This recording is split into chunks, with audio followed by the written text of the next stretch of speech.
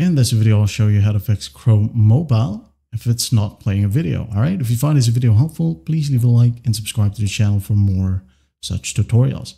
Now, first fix here, just go ahead and check your internet if it's working properly. If not, well, that might be the cause why your Chrome is not playing the video. All right. If internet is not a problem, it might be on the phone itself or the settings.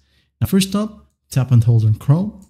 All right. If you're using iOS, you go to settings, look for apps, locate Chrome and tap on offload app, all right, or offload data. Now for Android, tap on the information icon, wait for it to load. Now once it loads, go and scroll down and tap on storage. And here first up, tap on clear cache. Once done, manage data storage right here and uh, clear all data. Okay, hit on OK. Once that's done, open up your Play Store or App Store go to the search function, search bar right here, look for Chrome. All right, tap on Chrome. Now, if there are any available updates, go ahead and install it.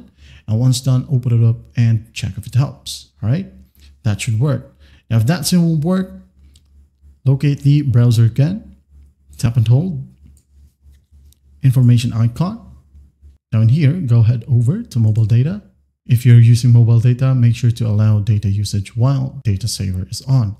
Click on it, and that's basically how you do it. Well, I hope this video helps, and I'll see you in the next one.